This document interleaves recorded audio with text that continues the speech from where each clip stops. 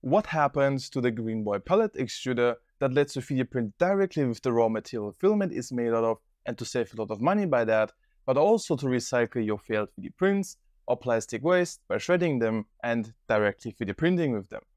Well, it's available now actually already since Sunday and more than 350 people already decided to support my project and got a 25% discount for my pellet extruder, which you can also get, but only until the 11th of August. So order now before it's too late, link in the description. But this video is about the future of Greenboy 3D because just having a decent pellet extruder is, in my opinion, not enough to accommodate my goal of making pellet 3D printing more accessible. There are still too many questions around pellet 3D printing with literally no answers at all. I mean, do you know the difference between round pellets or cylindrical pellets, or what differences there are in the slicer settings between filament and pellet extruders, or where to buy pellets for a good price? You see, there are many questions like these which I get and answer every day because people have no sort of platform where they can learn all these things.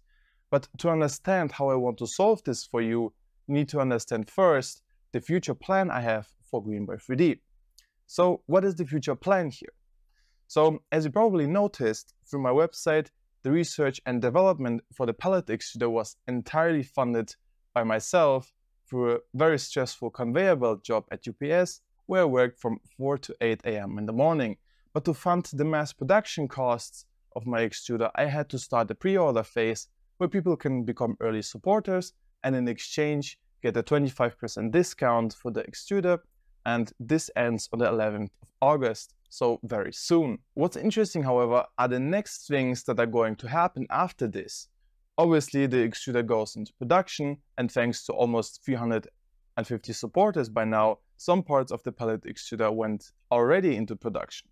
But this is just one part of what needs to be done, because like I mentioned, just offering a good pellet extruder is simply not enough to accommodate my goal of making pellet 3D printing globally less expensive and more accessible.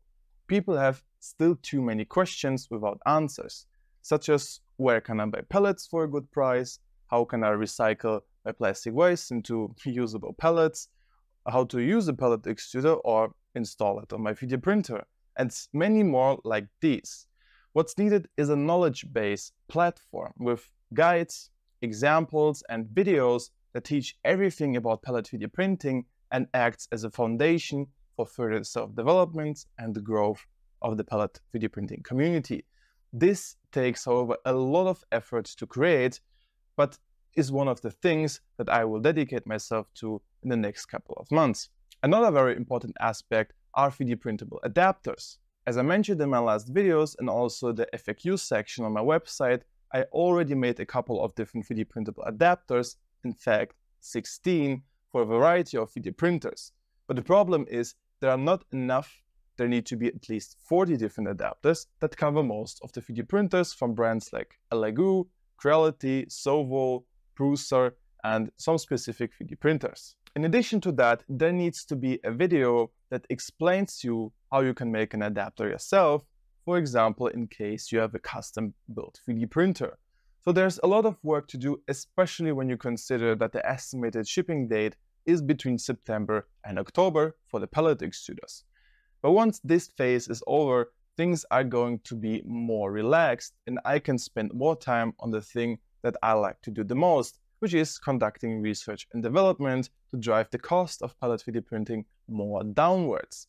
Please keep in mind that everything I have created so far was done with very, very limited resources, no access to workshops, just with my time and a lot of dedication. If you want to support my efforts, then you can do it now by getting yourself a pellet extruder through the link down in the description. And should you have any questions or concerns, contact me anytime through my email, which is also in the description below.